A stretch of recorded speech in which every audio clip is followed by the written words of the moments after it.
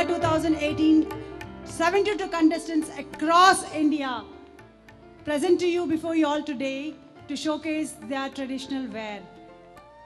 Girls, rock the stage and go ahead.